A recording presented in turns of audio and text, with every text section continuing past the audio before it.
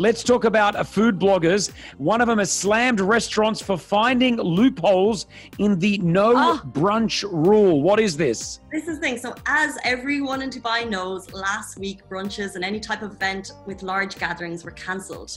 Um, but basically, some restaurants are sidestepping that rules. Food Shake, he's a local blogger, he called it out.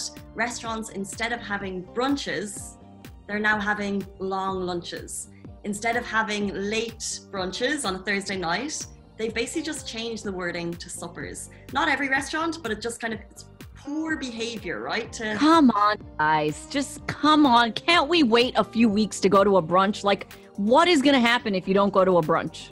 Yeah, I just think Yeah. restaurants are so lucky to be open right now. Um, we see so many restaurants around the world have closed. So it's just kind of, uh, it's just, it's a shame to see that some restaurants, small minority, are trying to kind of cleverly sidestep those rules, in their opinion. Yeah, I mean, I know that they need the money and we need the businesses, but right now, you know, over the last couple of weeks, we've had, you know, more than a couple of hundred lives lost due to this COVID virus. And you talk to any hospitals or any doctors, they're telling you the same thing. They're full.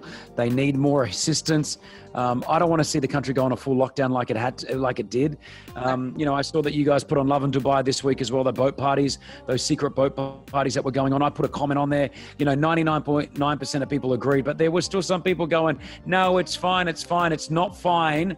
When you lose a family member to this virus, believe me, your perspective will change. Anything that you're saying right now, be it, "Oh, you just got to have a strong immune system and stay healthy and eat good food," from that to, "Oh, wearing a mask doesn't work," or all of that will go if someone in your family dies and it is happening. It is it's not it's not if it's going to happen it's happening to people. It's facts. So just look after ourselves. Let's move on. A cat got stuck in the in the cockpit. What, what's what's going on here? Um, this is one of those good news stories that we all need to hear. So, a cat somehow got stuck in an airplane cockpit, right? So, the flight was from Dubai to Tel Aviv. It landed on January 24th. Now, 14 days later, days later, ground staff saw a tiny kit, cat, kitty, perched in the cockpit. locked there for 14 days. No one knows how it got inside, and they've now successfully saved the cat. Here's Oh, hmm. it's cute. any any cat any cat jokes there ross anything you can add Oh, he survived by just a whisker. there we go. He It clawed his, he clawed his way back.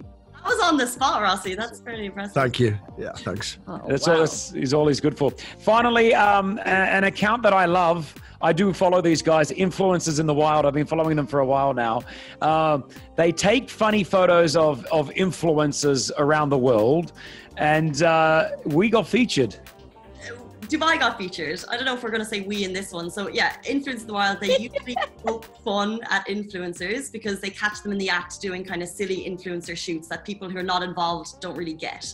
Um, if you're not involved in the industry. So basically, an influencer was spotted on a Dubai Marina bridge wearing less, like a really tiny bikini doing an Yeah. upside down splits post. And I think people around the world didn't think too much, but people here were like, hold on a second, like we, you know, beaches, that's for the beach, it's not for the street. So I think people were just kind of shocked at how that got taken, how she even managed Yeah. to use it. I mean, I'm sorry about that. I was on the way back from the beach and uh, I, I, I listen.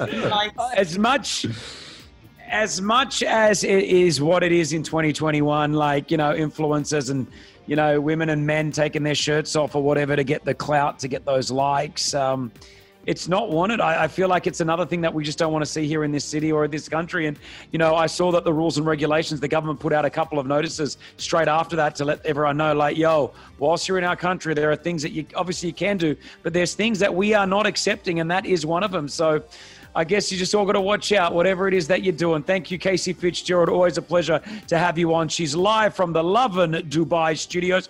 Make sure make sure you follow, and we'll talk to you soon. thank you so much, guys. Speak to you soon. Bye bye.